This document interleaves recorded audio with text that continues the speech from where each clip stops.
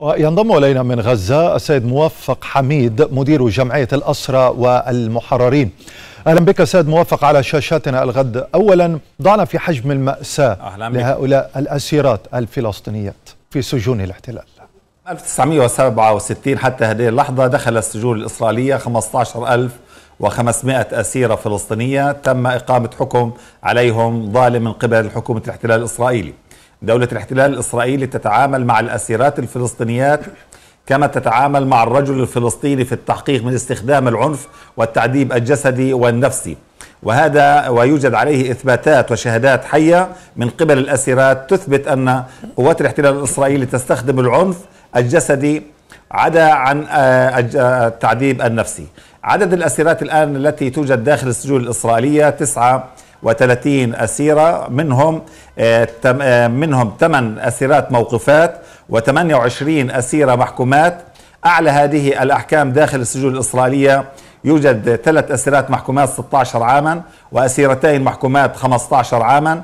ويوجد من هذه الأسيرات ثلاث أسرى ثلاث أسيرات محكومات اعتقالا إداريا.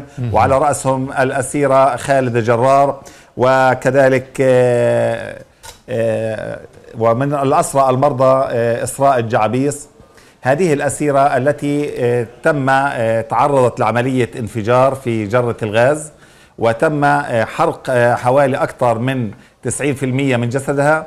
تم استخدام العنف أثناء نومها في المستشفى وتلقيها العلاج. كذلك يوجد لدينا حالة من استخدام العنف من من قبل دولة الاحتلال الإسرائيلي اللي هي سهير إسلامية سهير إسلامية أصيبت الأسبوع الماضي في عند الحرم الإبراهيمي بعدد من الطلقات وهي نائمة في مستشفى شعاري التابعة لدولة الاحتلال الإسرائيلي.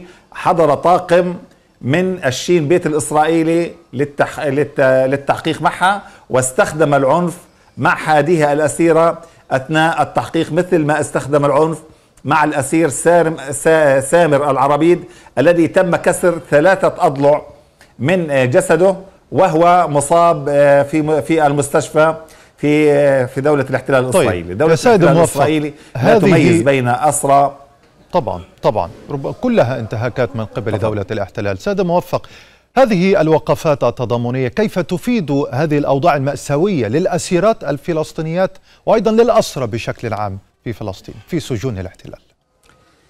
بداية أنا أقول هذه الفعاليات ترفع من معنويات الأسيرات داخل السجون الإسرائيلية ومن الأسرى داخل السجون الإسرائيلية وتزيد من معنوياتهم وتعطيهم دافعا قويا من أجل التصدي لإدارة مصلحة السجون الإسرائيلية.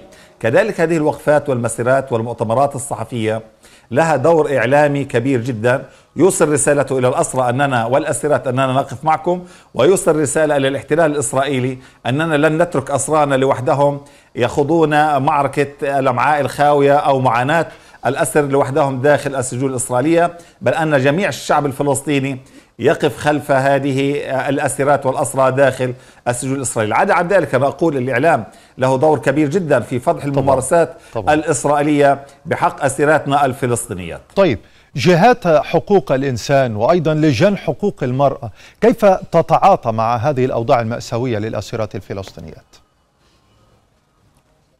بداية عندما نتحدث عن لجان المرأة أنا أقول ما بحق ظهرك إلا ظفرك نحن نعتمد اعتمادا كليا على المرأة الفلسطينية وعلى نشاط لجان المرأة الفلسطينية التي تقف وتناصر الأسيرات والأسرى داخل السجون الإسرائيلية أما أنا أقولها بصريح العبارة أن جميع المؤسسات الدولية هي مؤسسات ليست حيادية نحن نطلب من هذه المؤسسات أن تكون حيادية الحيادية هنا تعني الوقوف مع الضحية ضد ضد الجلاد وهنا بصورة طبيعية يعني إذا كانت هذه المؤسسات حيادية ستقف مع الأسيرة ضد ضد الآسر ضد إدارة مصلحة السجون الإسرائيلية دولة نعم. الاحتلال نعم. الإسرائيلي هي الدولة الوحيدة في العالم كله لن توقع على معاهدة جنيف الثالثة والرابعة بخصوص الأسرى. لذلك هي الدولة الوحيدة التي تنتهك حقوق الأسرى وتستخدم العنف ضد الأسرى والأسيرات وأقول أن هذه المؤسسات نطلب منها أن تكون ولو لمرة واحدة حيادية وأن تقف ولو لمرة واحدة مع الضحية ضد السجال الإسرائيلي. هي موقفها كالمتفرج. شكرا جزيلا ضيف الغد من غزة موفق حميد مدير جمعية الأسرى والمحررين. شكرا جزيلا.